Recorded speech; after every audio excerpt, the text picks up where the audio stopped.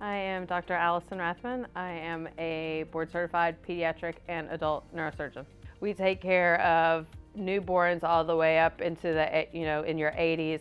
Uh, so we, are really taking care of people throughout their entire life. Um, and that's different from a lot of other practices in the area.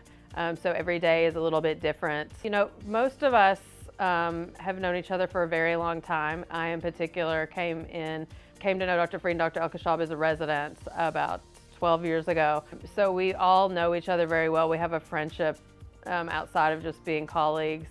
Um, so it's very easy when we get presented with a challenging case to come together and talk and to get feedback from each other. I can tell you in particular about a case from my residency that made me want to go into pediatrics.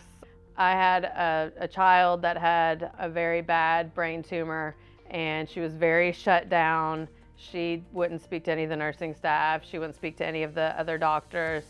Um, and somehow we made a connection and she started speaking to me and she made me a bracelet and um, I actually became very close with her and her mother. And after that experience, um, I decided I wanted to go into pediatrics.